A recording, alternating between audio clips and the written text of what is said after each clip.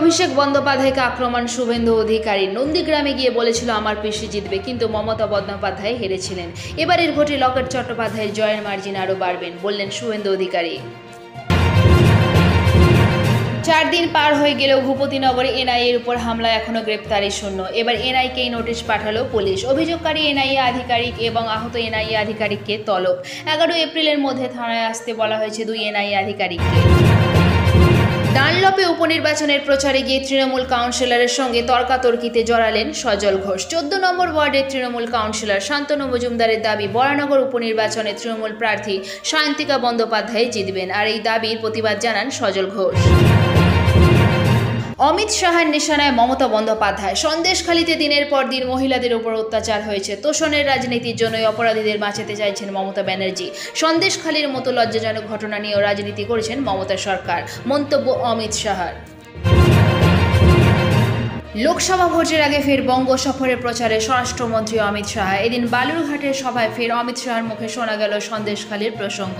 অমিত শাহ এদিন বলেন, এই ভোট সন্দেশখালী কাণ্ডে দায়ীদের শাস্তি দেওয়ার ভোট। লক্ষ্মীর ভাণ্ডারে উপভোক্তা বারো জন পুরুষ। পূর্ব মেদিনীপুর জেলায় বিজেপির এক বুথ সভাপতি সহ প্রায় বারো জন পুরুষের ব্যাংক অ্যাকাউন্ট নম্বর লক্ষ্মীর ভাণ্ডার প্রকল্পের উপভোক্তা তালিকায়। এমনই অভিযোগে তদন্তে নেমে মঙ্গলবার বিকেলে ময়না থেকে বিজেপির বুথ সভাপতি সহ তিনজনকে গ্রেপ্তার করল খানাকুল থানার পুলিশ। ফের অসুস্থ বসিরহাটের বিজেপি প্রার্থী রেখা পাত্র। বুধবার নির্ধারিত সময় প্রচারে বের হন তিনি। সেখানে আচমকা অসুস্থ হয়ে পড়েন। তড়িঘড়ি তাকে নিয়ে যাওয়া হয় হাসপাতালে। বর্তমানে অক্সিজেন সাপোর্টে রয়েছেন বিজেপির প্রার্থী।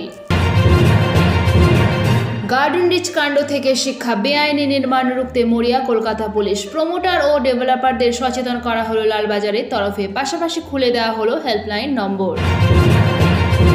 উত্তর কলকাতার বিজেপি সভাপতি তমগ্ন ঘোষের বাড়িতে দুষ্কৃতী হামলা। ভোটের মুখে এই ঘটনায় রীতিমতো সরগরম রাজ্য রাজনীতি। আজকের আবহাওয়ার পূর্বাভাস, তাপমাত্রা এক লাফে বাড়তে পারে পাঁচ ডিগ্রি পর্যন্ত। প্রবল ঝড় বৃষ্টিতে ভিজবে কয়েকটি জেলা। উত্তরবঙ্গের থেকে দক্ষিণবঙ্গে বৃষ্টির সম্ভাবনা অনেকটাই কমলেও উত্তরে বৃষ্টি বেশি হবে। কলকাতায় বৃষ্টির সম্ভাবনা কার্যত নেই। গরম ও শুষ্ক আবহাওয়া দাপট বঙ্গে। পয়লা বৈশাখ অর্থাৎ চোদ্দ এপ্রিলের মধ্যে পশ্চিমী জেলায় তিন থেকে পাঁচ ডিগ্রি এবং গাঙ্গ ও দক্ষিণবঙ্গে দু থেকে তিন ডিগ্রি পর্যন্ত বাড়তে চলেছে দিনের তাপমাত্রা।